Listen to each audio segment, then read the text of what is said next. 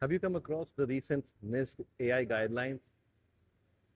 At this point in time, a lot of organizations, in fact, every organization is rushing towards AI race. They are deploying AI through chatbots, into AI applications, systems, but very few are having the specific governance within the AI framework because there isn't any framework that is well defined, the complete AI governance across the board. That's where NIST has recently come up with specific AI guidelines. And these guidelines are not about how to use AI. It's more specific about data poisoning. It's about the prompt injections.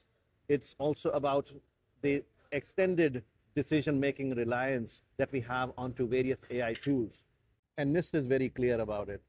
If AI is part of your business programs, the AI risk cybersecurity programs should also be part of the program.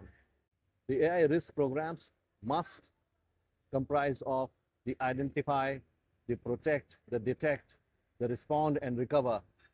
2026 is not only about the AI usage, it's more about securing the AI that we use. Stay aware, stay secure.